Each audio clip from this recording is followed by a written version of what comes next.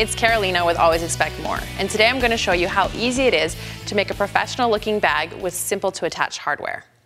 To make our bag, first we cut all our fabric pieces and interfacing pieces out. Attach your outside of your bag to some foam stabilizer. This will give some nice weight to your bag and help it stand up on its own. With a walking foot, stitch on the lines that you've marked. This will secure the fabric to the stabilizer and also it'll give your bag places to fold when it's all put together.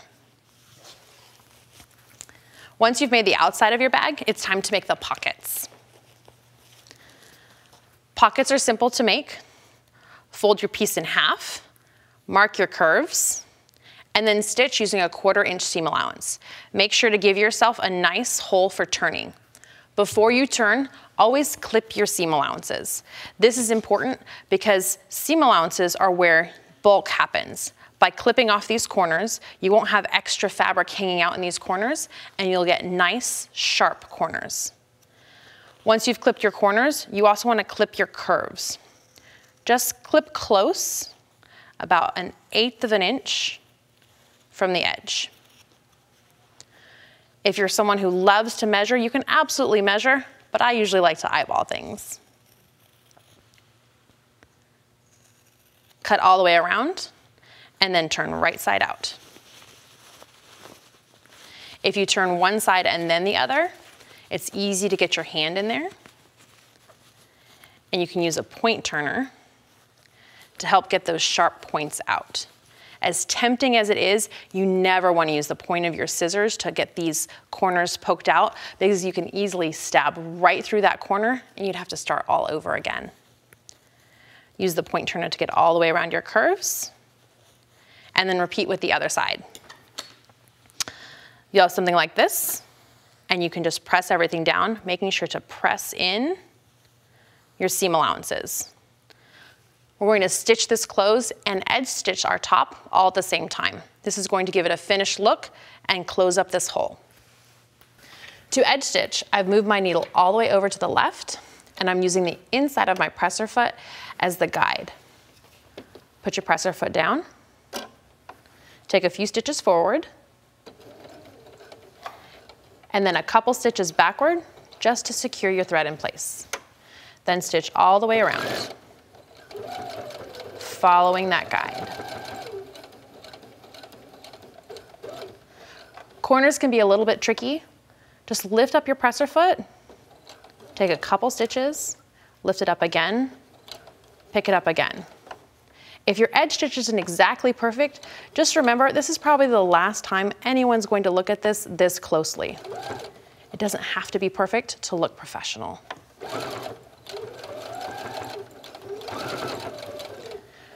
I'm using a red thread here to help you see it, but obviously you're going to pick a thread that matches your fabric and that'll help disguise any imperfections as well. Stitch all the way around, making sure to tuck in those seam allowances.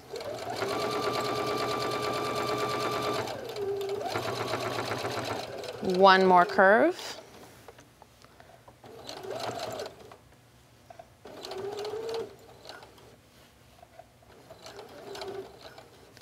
Make sure that you put the presser foot all the way down before you keep stitching. And when you get back to the end, just a couple stitches back and forth to secure everything in place. Once you have completely edge stitched, you're ready to attach your hardware. This is what really will make the bag shine. Fold your flap in half to find your middle.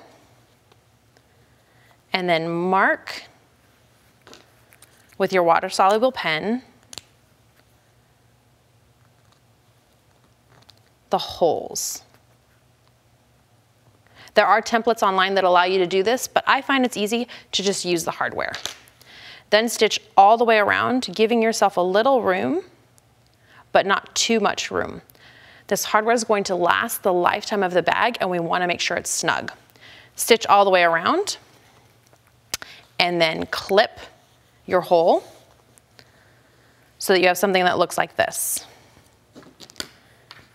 Now we're ready to attach the hardware. This is the front of my bag, and this is the front of my hardware. So I want to make sure that I put the front on the front. The back of my hardware is super simple to attach.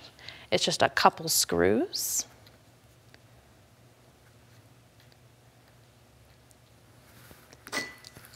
Just screw those screws in place. I do the first screw about halfway in, not too tight. And then I've made my hole a little snug on purpose. So I stretch the fabric just a little bit to find that second hole and then screw the second screw in place. Now I can screw the screws in all the way down.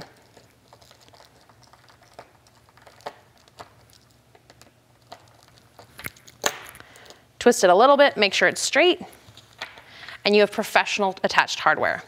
If you have fabric sticking through, you can unscrew your screws, pull that fabric out a little bit, and then screw your screws tightly back in place.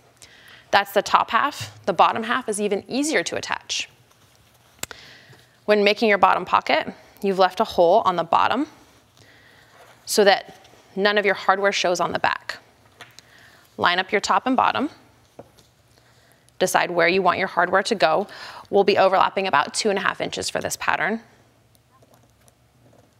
Mark, then grab your top. You can use your marking pen to mark your two points. I like to press down. Usually the interfacing is enough room and I can see those marks. With a pair of small sharp scissors, put your hand inside, don't poke your hand, and cut two little slits, just big enough for those prongs to go through. The prongs go through to the back, but not all the way the back. And then fold those prongs over. You can use pliers, but I like to think I'm really strong and can do it on my own. Adjust it in place, and your professional looking hardware is complete. Pin everything in place, edge, edge stitch your bottom down and your top across, and you've got one side of your bag done. On the second side of the bag, we're doing two pockets. These pockets are nice and deep, so there's lots of room for cell phones or cords or whatever sewing supplies you're taking on the go. These pockets are just as simple to make. We just added a dart both in the top of the pocket and in the bottom of the pocket to give that extra room. Turn them right side out, edge stitch across the top of the bottom pocket, and the flap, the bottom of the flap. Attaching hardware here is just as easy as it was before. We have these fun clasps. Unscrew the little screws on the top. Fold your pocket in half. Make a nice crease. I love this hardware. It has a little mark that shows me exactly where my center is. Turn it over and just screw those screws tightly in place. The screws are so tiny and so hidden. It looks like you had a professional machine put the hardware on. No one will believe you made this bag yourself. Screw it nice and tight. You want this hardware to last as long as the bag does. And you've attached the top. The bottom is simple to attach. Mark where your four spots are. You can either do this with your marking pen or by pressing down. Cut your slits. I've done that here already. And going through that side hole that's going to get closed up when we top stitch everything down. Just put your hardware through and either with pliers or with your hands, press all those flaps to the side. You can press the flaps either outward or inward, it's up to you. I like to press them outward. I feel like that's more secure, but it will put more wear on the bag in that spot. Your outside flap is complete. Just pin it down and edge stitch in place. When you edge stitch these in place, you'll be closing that side hole and that top hole all at the same time. Second side of our bag is done. Now come the straps. Our straps are three and a half inch wide pieces of fabric that we fuse some interfacing to to give them a little extra security. We want our straps to hold up. Stitch all the way down one side and then across the top. I have a nifty turning tool. I used to use a bodkin or a safety pin to turn my straps. And that would work, but sometimes it takes a little extra time, a little extra effort. It gets frustrating to try to move that bodkin or that safety pin, especially at the beginning around the top edge. This turning tool is so much faster. The first time I used it, I gasped out loud. Just put the point in, push, and an entire width of fabric strap is done just like that.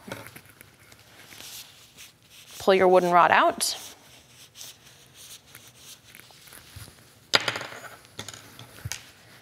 Clip off the end, we won't need it. And press your strap. When I press my straps, I like to have the seam allowance along the center of the back and make sure that all the bulk is to one side. Then stitch both sides for a finished look. We'll cut off a few pieces that we'll use to attach our D-rings to our bag as we put the bag together. That's right, our bag is almost done.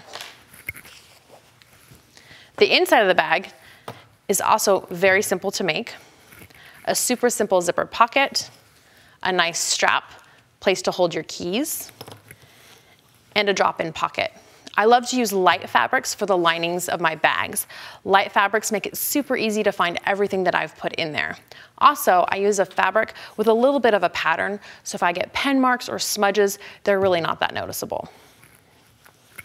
You can add some magnetic closures to the top and bottom. Turn it right side out. You've stitched your front and back together. Tuck everything inside. And pin across the top. Make sure your strap is tucked in as you pin. Our right sides are together. Our right sides are together. You pin your seam allowances here and here to make sure everything's centered. Measure for your handles and pin those in place. Everything should be tucked inside as you stitch all the way across. There's a hole in the center to pull everything right out. Edge stitch all the way across of your bag and your bag's done. You're ready to take it on the go. It's that easy to make a professional looking bag with great hardware that you can take on your trips with you.